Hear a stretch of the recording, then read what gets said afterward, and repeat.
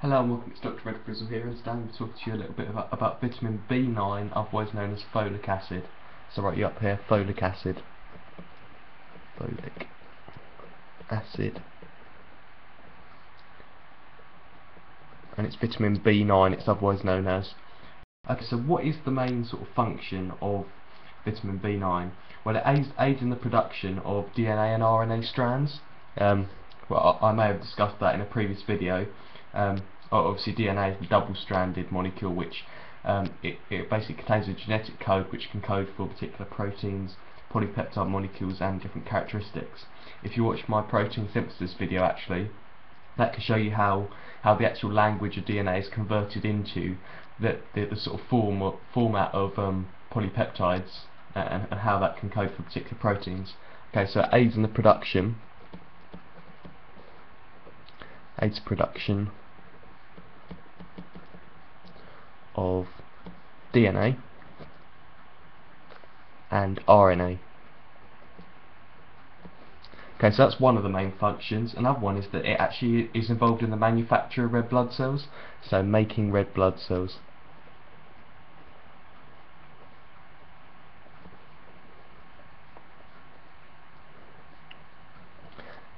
Right, so this, uh, so this is an interesting point, making red blood cells.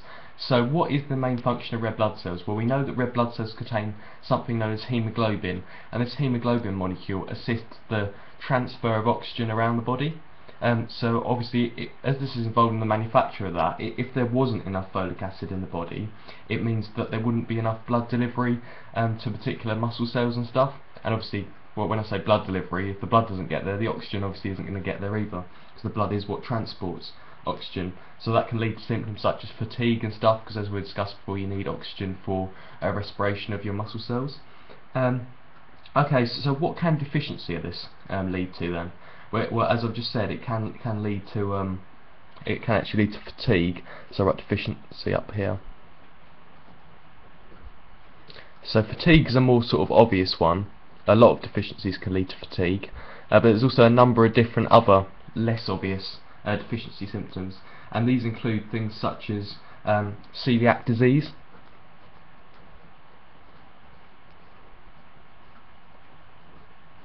which is the, your body's inability to process gluten. So, so foods obviously containing gluten are things like bread, um, other carbohydrate type foods like that.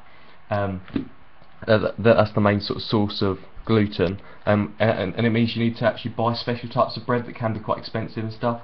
So obviously it's not ideal to have this deficiency just because it's that, that's, um, that's mainly the, the celiac disease is mainly sort of an inconvenience to everyday life. Um, and another one could be alcoholism um, which which is essentially if you become an alcoholic or something then then that that is what ha not having enough of this like can actually lead to alcoholism, so it, can lead you to want more alcohol.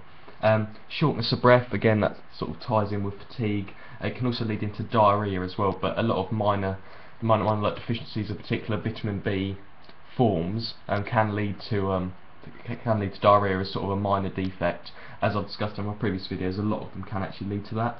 Uh, okay, so what are the daily requirements for this particular vitamin? Um, for this vitamin, it cannot be synthesized by the bacteria in the body. Like I said with vitamin B8, um, that can be synthesized from the bacteria in the body, but this one can't. So you actually need to consume it. So you need to consume, uh, if you're 19 plus and you're an adult male, you need to consume around 400 micrograms. So this is only sort of a rough estimate. Um, because obviously it, it, does vary from person to person because cause, cause certain body certain people can cope with with different amounts, but as a sort of recommended like, like daily allowance for um, the average person, that it would be around 400 micrograms, um, and when this is taken into consideration their age, so obviously when they're fully grown, 19 plus is, is when they're an adult. Um, the other thing you should probably know is you should probably note that overconsumption can lead to weakness, tingling, muscle pain, uh, sorry, tongue pain, and confusion.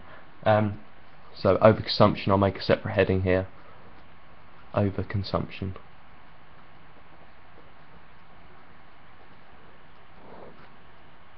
Um, inflamed tongue.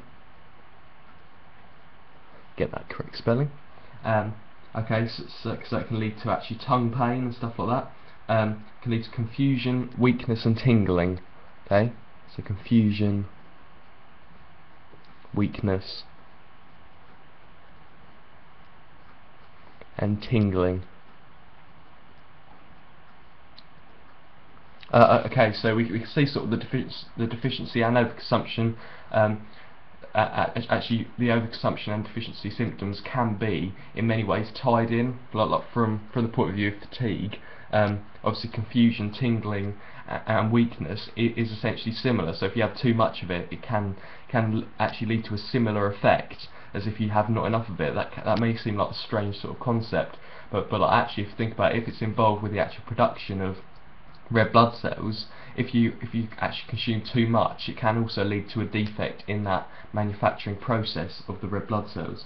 Um, uh, okay, so that's sort of primarily what I want to talk to you about. Um, it's actually used in particular treatments as well, I should probably mention. So like anemia, which um, if you've heard of, of, the term sickle cell anemia, that's essentially what, where like red blood cells actually change their shape, so they can't actually fit through the blood vessels as they go into smaller and smaller blood vessels.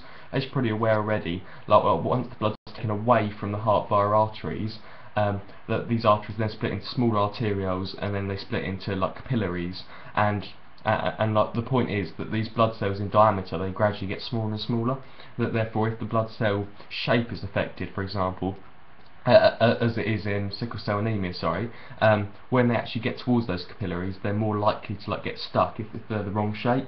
H hence, why you you don't get as much um, oxygen delivery to your particular muscle cells, etc. Um, okay, so that's using the treatment of anemia, which is, as, as I've just said, like to do with the shape of the red blood cells. Um, it also affects the bowel. Now, the bowel is just a term like like given to the intestines mainly, um, and, and, the intestines, as you should be aware, is that they're actually used to absorb particular nutrients. They're actually used to absorb the majority of the nutrients in the body. Um, uh, and they're obviously adaptive for this because they have like, a large surface area. But the point is that the bowel actually becomes inflamed. Um, that the bowel can become can become inflamed, and if it becomes inflamed, it, it cannot absorb nutrients properly. Whereas if you actually have enough of this vitamin, um, you you can actually prevent you can prevent the, bowel being becoming inflamed and therefore not being able to absorb enough stuff. I should probably mention as a deficiency symptom, um, inflamed bowel, because essentially if you don't have enough of it, it can lead to an inflamed bowel. So sort of the treatments are almost like the opposite of the deficiency, because obviously if you've got an inflamed bowel, uh, if you have enough of it, it's going to be involved in the treatment of the inflamed bowel.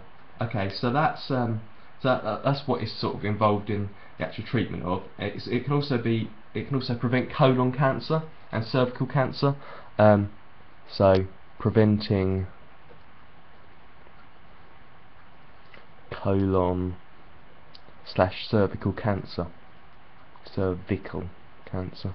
Okay, so basically, um, as I've just discussed before, it's quite similar to, to the actual bowel um, like defects that I've just discussed with you, because um, like your colon is a part of your large intestine, um, and, and essentially that, that's involved in the sort of reabsorption of particular nutrients such as salts and stuff, mainly in the large intestine, I think. Um, so, so essentially, it prevents any sort of problems with that. Um, if you have enough of it, obviously deficiency symptoms might be you actually get colon cancer because it's the complete opposite. It, it's more likely to lead to um, a lot like cancer. You know, you should know that it's a mutation uh, with genetic information. So, so what that means is that if you have enough of this, it will prevent the actual genetic mutations by enabling nutrients to be absorbed effectively and properly as the body would um, require. Um, so, so, so, so, so I, I, hope you found this video um, useful, and I'll speak to you in the next video about a little bit about vitamin B10, um, which I'm going to have a, a sort of fun time trying to say the name of that because it's quite a long, confusing name. Anyway, I hope you've enjoyed this video and see you in the next one. Goodbye.